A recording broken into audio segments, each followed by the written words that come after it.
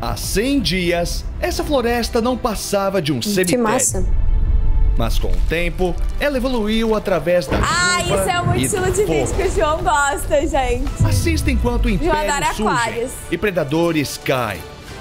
Mas a verdadeira pergunta Ele fez um é, pequeno ecossistema quem aí. pode sobreviver? Ok, ó, a aranha desse, desse ângulo parece tão bonitinho, mas bicho tão do inferno. No dia 1, o tanque foi construído a partir de terra, um tronco e um esqueleto de raposa da cabeça aos pés. Nossa, ele todo deitadinho assim, morto. Pode parecer árido agora, mas onde há morte, há vida. É, aonde a morte é a vida.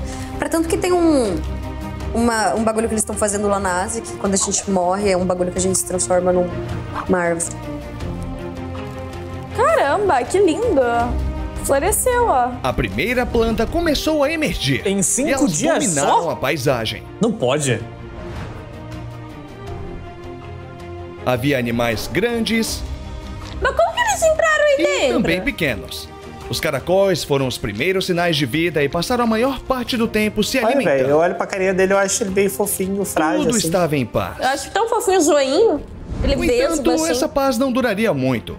As plantas estavam desaparecendo a uma taxa alarmante, e não por causa dos caracóis. Algo mais as estava devorando, algo subterrâneo. Ah, a Minhocas. minhoca tava comendo as Elas plantas. estavam se proliferando e destruindo tudo Eu já em peguei seu caminho. minhoca. Elas são Eu tipo tinha que controlá-las.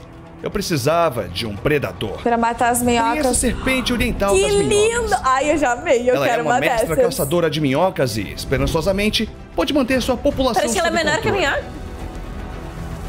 Enquanto essa guerra ocorria abaixo do solo, algo mágico começou a crescer acima. Fungos? Olha o The Last of Us aí. Hum, cogumelinho, Cogumelos. hein? Pra não ficar bem Eles doido. são uma das espécies de crescimento mais rápido em nosso planeta. E caracóis emergiram para se alimentar. Como que eles comem? Cogumelo não é duro pra eles? Só que é bom Esses de comer isso. cogumelos não eram as únicas formas de vida dentro do tronco. Dentro dele estão os começos de um império. Caraca, Essa que é uma foda, formiga né? carpinteira rainha. Ô, formiga é ela outro tá bicho foda, velho. Os caras têm exército, os caras são super organizados. Cada é uma muito dessas bravo, larvas se tornará uma trabalhadora leal para servir ao seu império. A formiga rainha começa formigueiro sozinha assim mesmo? É normal isso? No dia 21, as plantas haviam crescido dramaticamente. Agora haviam muitas formas de vida, mas elas poderiam conviver. Esse é um exemplo. Uma lesma acabou de colocar um monte de ovos. Mas será que os outros não comem Ela os ovos precisa ficar dela? atenta, porque outros animais estavam querendo comê-los. Grilo eu não gosto muito, não. Eles não, não, tenho estavam medo, mas apenas eu não comendo muito, seus não. ovos, mas muitas das plantas também. Dá uma Sua agonia, população grilo. estava rapidamente saindo do controle, pois não tinham um predador. Vai, vai ele botar Até mais um agora. predador. Aqui está um casal Nossa, de que aranhas coisa mais linda. Essas imagens é ele que grava? Elas é formam possível. uma dupla mortal. Isso é muito lindo. É corajoso, Depois de tá? Pegar a cara na mão. tanque, elas começaram a caçar. Os grilos têm uma visão Ai, incrível, feio, mas cara. a visão da aranha é ainda melhor. Claro, tem quatro olhos, tá de hack. Com olhos na frente Olha e isso, atrás que da sua lindo. cabeça. Será que ele enxerga tudo ao mesmo tempo? Com apenas Ai, uma mordida, o grilo fica completamente paralisado. Era hora dela aproveitar sua refeição bem merecida. O- Isso eu acho bizonho, velho. No mundo animal, os bichos se comem quando o outro bicho tá vivo ainda. velho. Agora, a vida ao redor do velho. tronco não passou despercebida. A primeira trabalhadora da rainha havia começado a emergir. Nossa, imagina o trampo que foi A pra rainha gravar essas coisas sair do também. seu casulo até que ela pudesse ficar de pé em suas próprias seis patas. Ah, que bonitinho! Ela foi a primeira de muitas. A, a formiga rainha da, da cria sozinha não precisa fazer No nhaco-nhaco? dia 50, o tanque estava completamente coberto de vegetação. Tem que botar uma cabra aí dentro pra comer.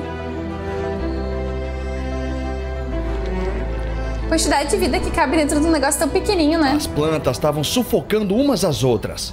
Eu precisava de algo para comê-las. E o jeito que ele grande. narra de uma forma dramática para Conheça comê-las. o Ai, milípede de placa de espinhos.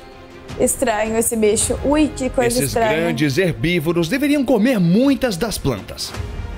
Depois de colocá-los lá, eles se refugiaram profundamente no subbosque. Hoje em dia eu não consigo olhar pra esse bichinho sem lembrar do filme Centopeia Humana, que é um filme horrível. eu tanque Nunca em busca de um lugar seguro para se esconder.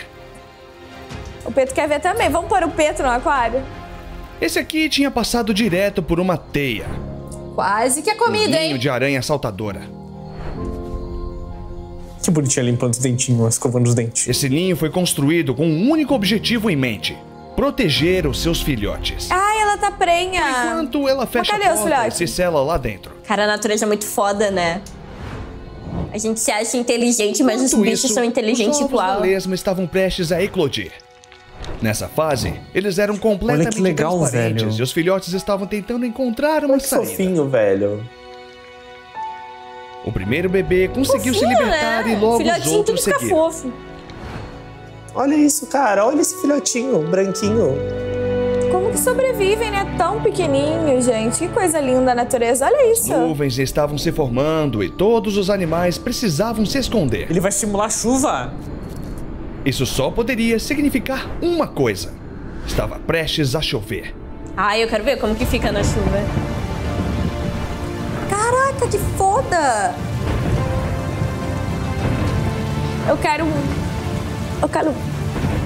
Ah, que maneiro. O cara se esforçou, velho. Gostei. Mano, o cara realmente se puxou pra fazer, velho. Ele faz até temporal no negócio. Muitos dos animais se reuniram para beber depois da tempestade. Ah, Eles foram beber aguinha. Até a serpente das minhocas fez uma Ai, breve linda. visita. Você é a mais linda de todas. Você é a mais linda. No Flores. dia 80, as flores começaram a florescer. Nossa, demora tudo isso pra florescer flor? Florescer flor. Isso é bom pra quem? Qual dos bichos se beneficia disso? Não tem abelha aí, né? Acho que ele não botou bicho que voa. Apesar da sua beleza, nem toda a vida estava equilibrada. As aranhas saltadoras estavam tendo dificuldades para encontrar comida, já que as formigas estavam tomando conta. Mas grilo é uma merda, né? Vamos ser sinceros. O grilo tá fraquinho, do ele perde pra formiga, ele um perde pra areia, ele perde pra todo mundo, formando. coitado. Grilo é Eu fraco, tinha né? que detê-las. Era hora de introduzir um novo predador. Aqui está um grupo de escorpiões. Ah, mas Não não tem como lutar contra ele. escorpião. Esse bicho aí, é... nem eu lutaria contra Escorpiões ele. de madeira. Eles têm garras poderosas e uma bicho, cara. picada venenosa. Ele, ele tem pelo no ferrão? Então era hora de colocá-los Por ao que, que tá tanque. na mão dele? Eu os coloquei lá cuidadosamente no subbosque. Corajoso, tá? Segurar bicho asqueroso assim na mão, corajoso. Não é possível que esse cara não levou uma picada desses escorpião pra segurar eles na mão. A maioria dos escorpiões decidiu se abrigar. E ele parece muito grande, né? Tu vai ver um bichinho desse tamanho. Mas um deles havia entrado no território das aranhas saltadoras. Essa vai ser uma boa batalha. Ele Escorpião não tinha e ideia, aranha. pois era quase cego. Coitado, ele tem miopia. Sua única opção era ficar completamente imóvel. Puta merda. Esse aí se ferrou muito. Ela tá provando Puta ele pra saber se ele é comida. Vai dar uma bicada nela. Vai dar uma bicada. Ai, que agonia, eu tô com dor Quando pela ela aranha. começa a se afastar, ele se move. Ai, ai, ai, quase, filho. Mas parece que ele escapou dessa vez. Instinto de sobrevivência é muito louca. Esse erro quase custou sua vida. Corre, bicho, corre! E logo, o dia se transformou em noite e eles reapareceram. Ah, eles são noturnos, eu não sabia. Eles brilham sob luz ultravioleta para se Que bonito, reconhecer. né?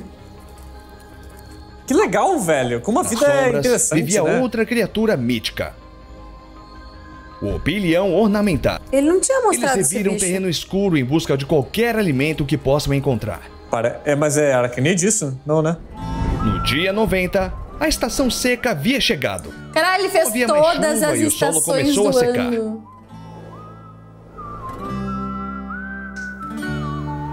Eu removi cuidadosamente todos os animais do tanque. Por quê? Mas não pelo motivo que você pode pensar. Ele vai botar numa arena? Tipo, vai, se enfrentem. Porque no dia 94, uma tempestade seca estava prestes a começar. Um incêndio florestal começou a se espalhar Por que ele rapidamente. fez isso? Ele é idiota. Aí se eles estivessem lá dentro, eles teriam morrido tudo, né? Tudo começou a queimar até que todas as plantas fossem destruídas. Não, deve, deve ter sobrado algum bichinho, coitadinho, que se foi pro Ou fogo. pelo menos era o que eu pensava. Ai, nasce de novo, tá? Gostei do experimento. Não sabia que nascia de novo. O universo é muito cinzas foda. brotou uma Olha isso, nova mano, que vida. absurdo. O ciclo estava prestes a começar Cara, que legal, novamente. velho. E novamente e novamente. Cara, eu fiquei extremamente chocada. Em 100 dias dá pra fazer e refazer muita coisa. Os bichinhos, tipo, um complementando o outro, sabe? Pra fazer tudo funcionar ali dentro. Que loucura, a natureza realmente perfeita, sabe? Não, não tem nem como explicar o que, que é isso. Pô, que interessante, cara. Achei realmente. Como a vida é bonita, né, velho? Como a vida é um negócio complexo e muito tempo pra ficar assim. Eu quero ver mais disso, cara. Se o João não botar aqui pra nós ver, eu vou chegar em casa e vou ver por conta, cara. Porque, pô, achei muito legal, velho. Muito legal mesmo. Eu gostei de ver os insetinhos de perto, gostei de tudo. Tudo, 100%. Nota 10. Gente, eu simplesmente amei o reality show dos insetos. Eu amei, eu já tinha pra quem eu tava torcendo, eu já tinha pra quem eu tava torcendo contra, que eu tava torcendo a favor. Já fiquei indignada com o produtor ali, né? Com o dono do programa. Mas eu amei, eu quero mais, João. Quero mais, João vai trazer mais. Decretei, ele vai trazer na próxima.